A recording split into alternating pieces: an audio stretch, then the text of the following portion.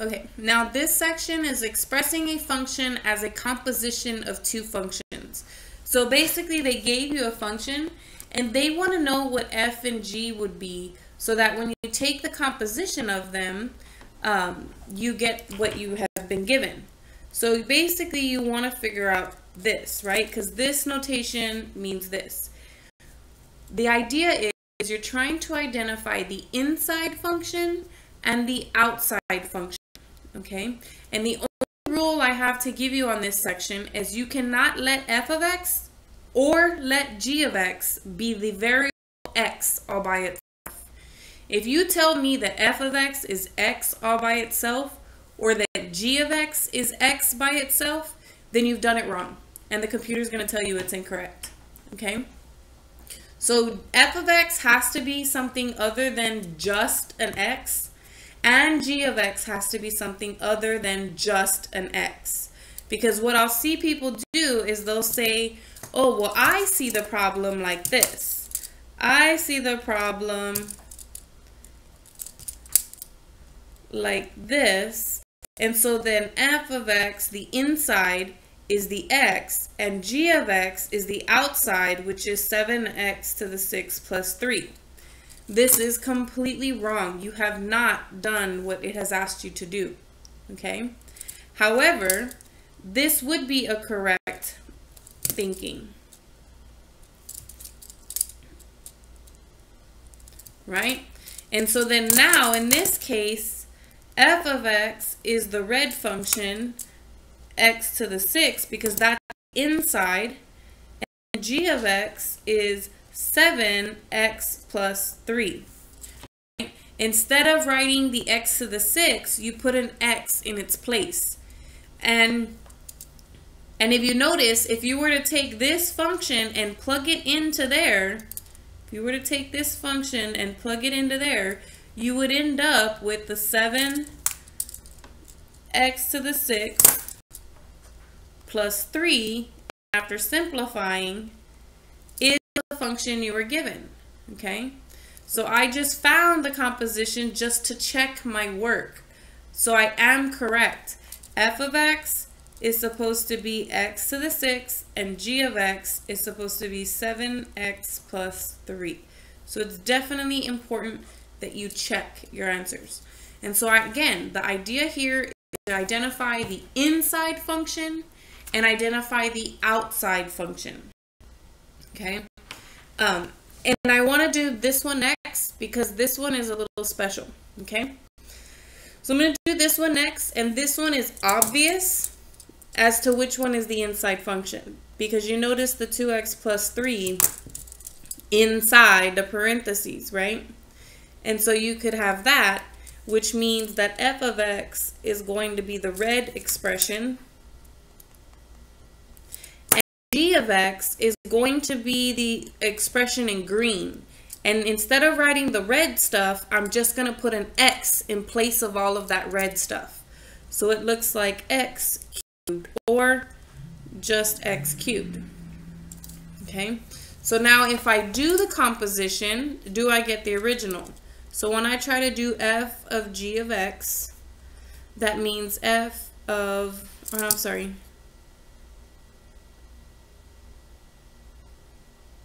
Dun, dun, dun. I'm doing these backwards. Okay, so I did this one wrong. Notice that I put F on the outside and G on the inside. So when I'm labeling, the inside function needs to have been labeled G. And then the outside function needs to have been labeled F. So I actually did those backwards, okay? And it's important because I'm going to address it over here in a minute. So the inside needed to be G and the outside needed to be F. And when I plugged G into F, just like this is telling me, plug G into F, we get this function here. So the same thing here, the inside function is G and the outside function is F. So when I find f of g of x, it means find f of 2x plus 3. And then that means to plug the 2x plus 3 into the f function, which means I end up with 2x plus 3 to the power 3, which is exactly what I had up there. So these functions are correct. f of x is going to be x cubed, and g of x is going to be the 2x plus 3. So key thing, the inside function is g. The outside function is f. Now, this one here, I could apply the same logic that I did there, okay? But I'm going to do this problem in two different ways because depending on how you see it, there are two different answers for this problem, and both of them will be valid because neither one of them will just be x, okay?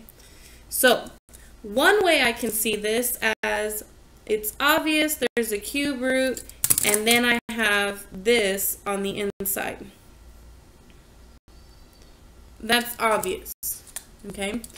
And so then I can say that the g of x, which is the inside function, is 3x squared plus 2. And so then the outside function would be the cube root and all the red stuff would turn into an x. This is why colors is helpful, okay? And so notice that neither one of these expressions is just x all by itself, okay? And if I were to plug g of x into f, I would have exactly what's there. There is another way to visualize this though. I also could have seen it like that. And so then in this case, the g of x function is x squared, and the f of x function is the cube root of 3, and instead of the red stuff, I'm just going to put x plus 2. So notice that f and g, neither one of them is literally just the variable x. This one's x squared, which is not just the variable x. And then this one, of course, has a lot more going on than just x. So this is also a correct answer. And if I were to plug g into f, it would literally say 3 and then x squared plus 2, which is exactly what was up there. So for this problem, there are two possible answers. Some of them will have more than one possible answer, and some of them will only have one possible answer, like for instance, A and C. Part B had two possibilities. But this is the more common answer just because whenever there's parentheses or square roots involved, um, people tend to usually, their eyes automatically see what's in the parentheses as the inside function and what's inside the radical as the inside function. Okay?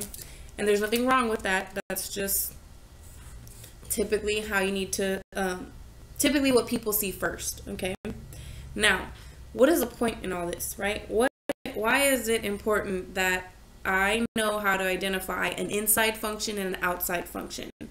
Because later when you get into calculus, um, and it's in Cal 1 and Cal 2 and in Cal 3. So this inside-outside idea is going to come back and it's going to be very important that you're capable of doing this. Because in all three of those calculus classes, you will need to be able to, one, know how to manipulate algebraic expressions, and two, be able to identify insides and outsides. Because if that's the case, there are certain rules and properties that you could use and apply that make things a lot easier. And then sometimes it's the only possible way to solve the problem is if you recognize that there's insides and outsides.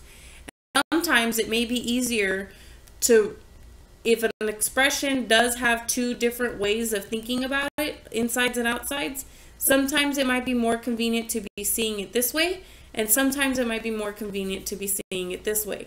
So it's really important that you're able to identify both possibilities, okay? So you definitely want to practice with this problem a lot because it is going to come back to us in calculus.